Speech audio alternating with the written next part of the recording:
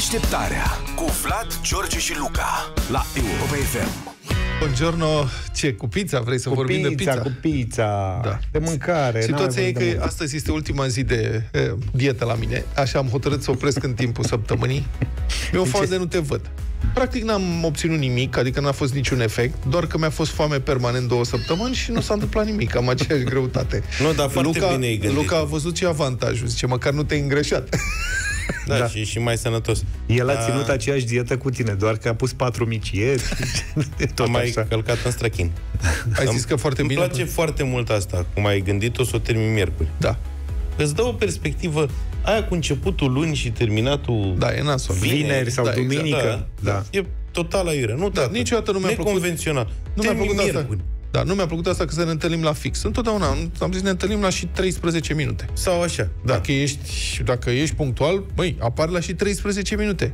Știți că asta, noi avem meseria asta în care nu putem să întârziem Da. la program. Deci și mai întârziem din când în când.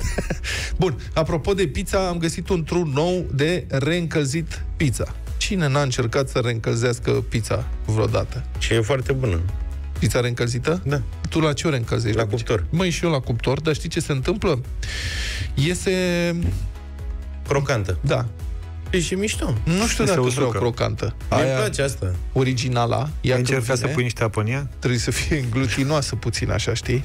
Eu știu. Aia este situația. Acolo e Dar e pizza alt adevărată. preparat, practic. Deci pizza reîncălzită Mhm. e, nu mai e ca pizza aia originală pe care ai mâncat-o cu o zi înainte sau când ai măcat-o tu. E Da, cine ceva știe. mai un preparat crocant. Depinde ce an de facultate ești. O să fi mâncat parțial cu șase zile înainte. Da. Nu contează. Dacă ai frigider, lucrurile sunt ținute acolo până evadează ele. Eu nu înțeleg cum vă rămâne vouă pizza, dar mă rog.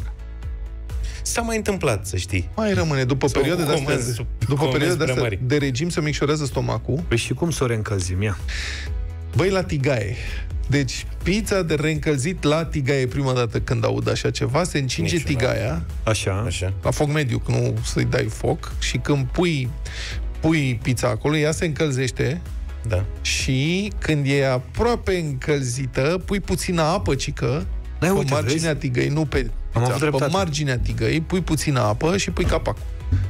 Și se încălzește și redevine, nu, nu se face nici crocantă, să se spargă în bucăți ca biscuitele, dar nici nu să moaie cum fac alea care, pe care le pui la microunde, care sunt o mizerie îngrozitoare. Da, nu ai o porcărie. da. Trebuie încercat asta.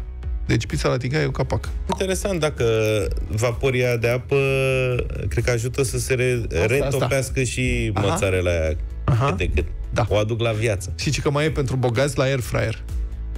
Cine are... Tu ai air, air fryer? Nu, haide să nu ne ducem Da, în zonă. pentru bogați la air fryer câteva Dar nu e minute pentru se pune. bogați ce air fryer-ul ăla. E un device, nu cred că e foarte scump. El are două acasă. E fiță, Nu, mă, are nu. cineva air fryer. Nu.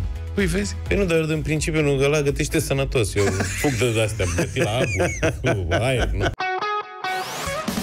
Deșteptarea cu Vlad, George și Luca la Europa FM.